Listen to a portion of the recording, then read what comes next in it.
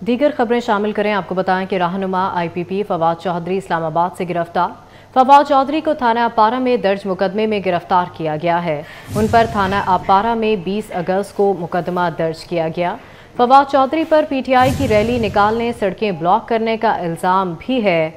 फवाद चौधरी को गिरफ़्तार कर लिया गया है। फवाद चौधरी को थाना अपारा में दर्ज मुकदमे में गिरफ़्तार किया गया है। उन पर थाना अपारा में 20 अगस्त को मुकदमा दर्ज किया गया। फवाद चौधरी पर पीटीआई की रैली निकालने, सड़कें ब्लॉक करने का इल्ज़ाम है। फवाद चौधरी को थाना अपारा में दर्ज मुकदमे में गिरफ़्तार किया गया है। फवाद चौधरी पर थाना अपारा में 20 अगस्त को मुकदमा दर्ज किया गया था, जिस पर उनको अब थाना अपारा में दर्ज मुकदमे पर गिरफ़्तार कर लिया गया है। इसी पर बात करेंगे फरजाना सद्दीक हमारे साथ मौजूद हैं। फरजाना बताएगा इस गिरफ्तारी के हवाले से।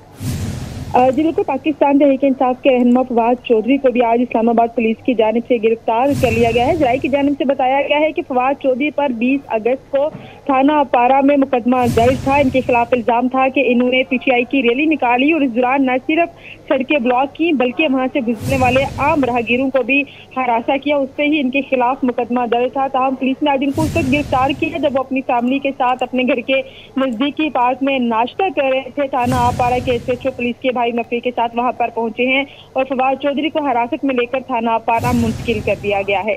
ठीक है बहुत शुक्रिया। फरजान आप हमें तफसी आगाह कर रहे थे।